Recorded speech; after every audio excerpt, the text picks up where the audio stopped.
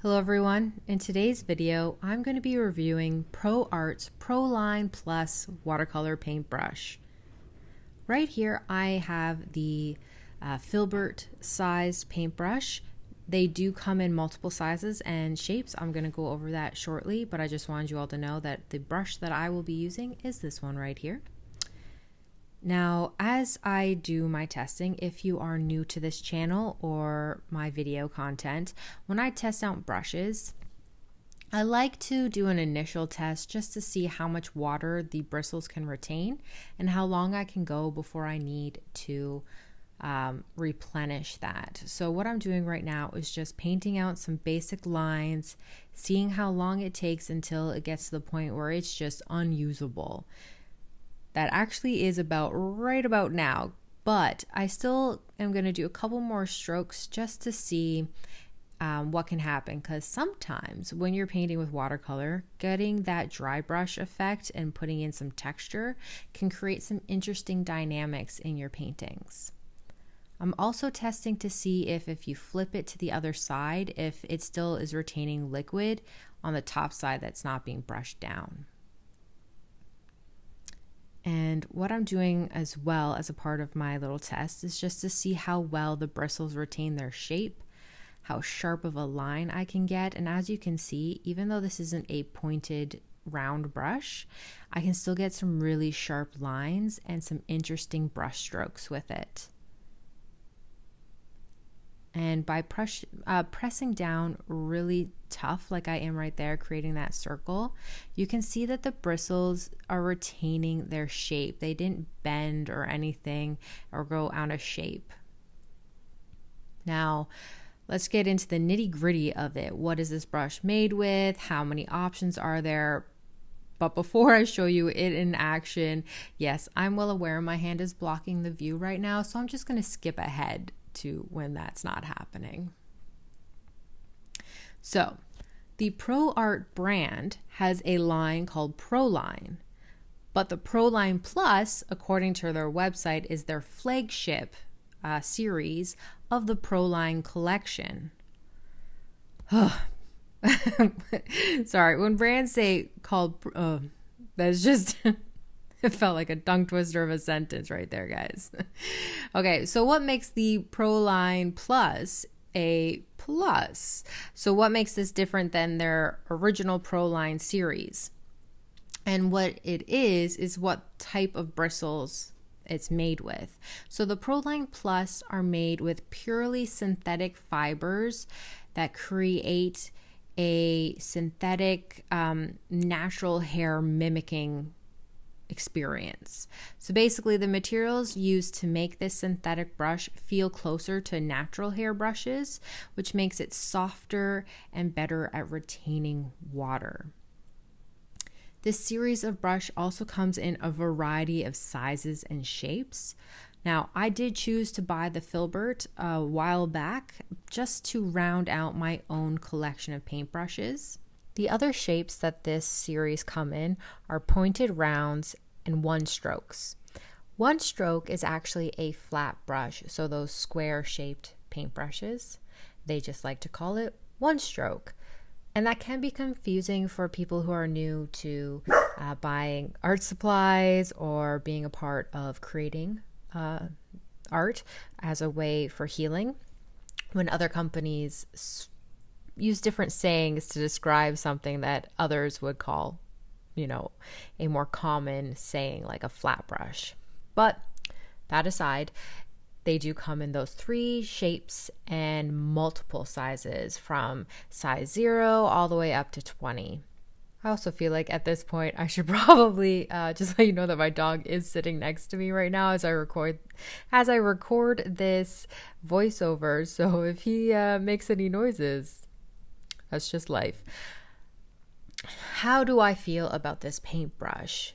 Does it create, you know, ease of use? Is it a good type of shape that I re that I purchased?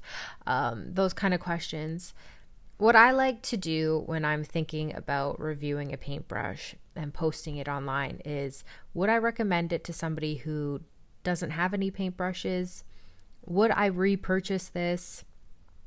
And if I had easy access to it, which I do thanks to online shopping, is it something that I would pick over others? So, if you're new to creating art, the Prolene Plus is actually a really nice paintbrush. It's a fairly reasonable price range depending on where you are because of exchange differences. I purchased mine through Jackson's. So the pricing is going to be a little different as I am Canadian. Um, but I do say it's a good one for anyone who's just getting started or someone who has been at this for a little bit but finds that their really stiff brushes just aren't giving them what they want out of free uh, movement and accessibility to um, creating flowing lines or anything like that. And would I, you know, repurchase this myself? Yes. I don't think I would do anything again in the filbert size. I realized while painting with this that yes, filbert is really handy for doing certain types of flowers and shapes, but as a watercolor artist type approach to things, I found that the filbert isn't as universal it is for me as when I am painting with my acrylics. I love filberts. They're kind of my go-to along with flat brushes when I do acrylic painting, but for watercolor, I'm discovering that round brushes, flat brushes, and daggers are my favorite. That was kind of a roundabout way of saying, yes, I will order this again, but in a different shape. I'm thinking a flat brush would be my go to. The Prolene line, align, I feel like I should reword that. Let's just go with Pro Arte as a brand. Pro Arte as a company is not easily accessible in Canada. I can't go to any local art supply stores and pick one up. I can only purchase it online through Jackson's. That's not really a huge deal for me. I typically do a lot of my shopping nowadays online versus going in person.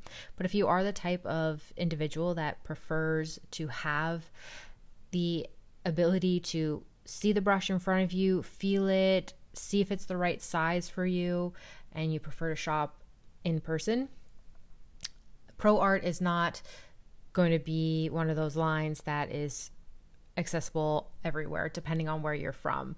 In Canada, I don't have access to it in store, but I do have it at Jackson's. And I will say now that I do have a link to this paintbrush and this line in the description section below. I constantly shop at jacksonsart.com and um, I am a part of their affiliate program. So basically, if you do purchase through one of my links, I get a small commission, but it's at no extra cost to you, which is what's so great about their setup. I also want to let you know because we are reaching the end of this video, but not all paintbrushes are created equal when it comes to mixed media. The uh, Prolene Plus brush is advertised as being just a watercolor paintbrush. However, right now I am using it with my acrylic wash and it washed up really nice. Um, not all brushes can handle certain materials.